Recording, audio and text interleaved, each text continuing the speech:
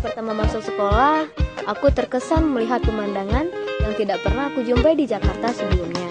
Di sini, orang-orang tidak pernah memandang seseorang dilihat dari sisi agama dan sosial. Dari sini, semua orang hidup berdampingan dengan rukun. Pulau Lombok. Ternyata pulau ini menyimpan banyak sekali keindahan akan alamnya. Di samping itu pula, tersimpan kekayaan budaya yang terus dilakukan oleh masyarakat Lombok. Ramah tamahan serta rasa toleransi yang tinggi membuatku cinta akan tempat ini.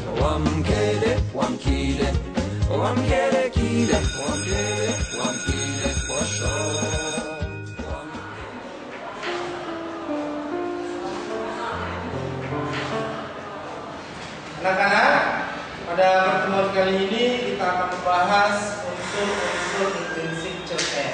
Nah, jadi pertemuan yang lalu pun sudah kita bahas dan sekarang Mari Bu.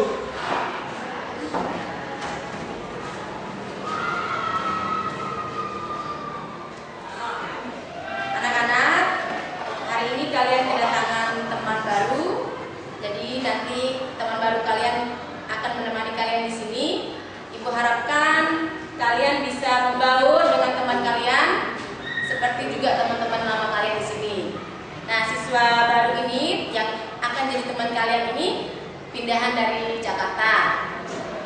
Ya, Ibu harapkan kalian memberikan kesan yang baik kepada teman baru kalian ini. Mengerti anak-anak? Iya. Nah,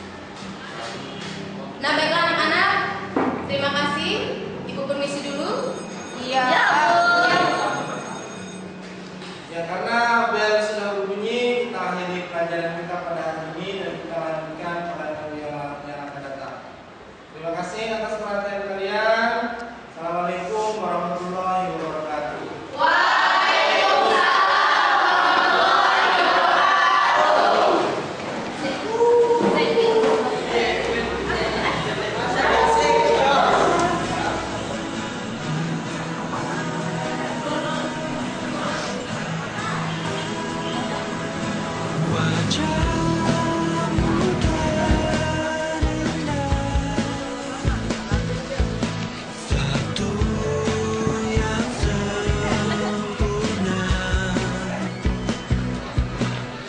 ini dia nih dari tadi dicariin udah ke mana aja sih? Kita kan tak ke mana-mana. Dari tadi di sini aja kan, Ben. Ya, Ben ya. Oh iya iya. Kenalin nih temen aku.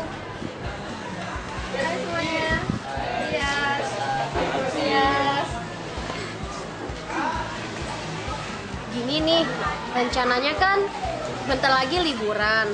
Gimana kalau kita ajak Tias jalan-jalan di Lombok? Biar Tias tahu kalau Lombok itu indah, Lombok itu damai, dan masyarakatnya ramah-ramah serta toleransinya tinggi. Gimana? Setuju nggak? Jadi bagus tuh kak. Setuju nggak? Setuju sih. Bagaimana kalau kita ajak teman kita, Robi? Bisa jadi. di wajahmu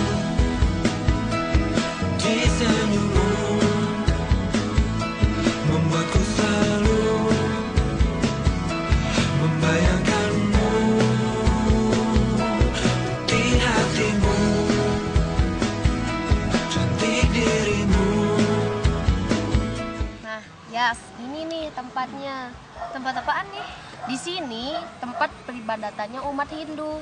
Tapi yang uniknya, di sini juga umat Muslim mengadakan acara-acara tertentu dan umat Hindu bergabung langsung dengan umat Muslim untuk merayakan acara tersebut. Misalnya acara umat Muslim Lebaran Topat Tujuannya lebaran tepat itu untuk mencari keberkahannya. Jadi, di antara dua penganut agama tersebut berkumpul menjadi satu. Oh, jadi kayak gitu ya? Iya, begitu. Di sini juga ada namanya kemali. Kemali itu fungsinya tempat peribadatannya umat muslim dan tempat acara-acara tertentunya.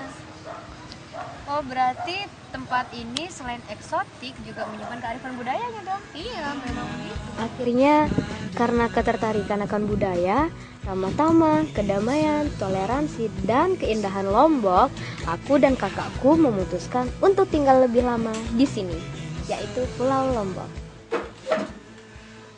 Bagaimana jalan-jalannya tadi? Seru banget dong kak. Kakak tahu nggak di Lombok tuh ternyata penduduknya tuh sangat ramah-ramah banget. Dan satu lagi nih, Lombok tuh sangat indah. Oh gitu ya. Terus? Dan satu lagi, Lombok itu ada yang unik. Toleransi antar sesama itu nya sangat kuat banget. Menarik tuh. Ya iyalah. Jadi gimana nih? Kapan-kapan kakak mau ikut aku jalan-jalan nggak? Tentu dong. Kaulah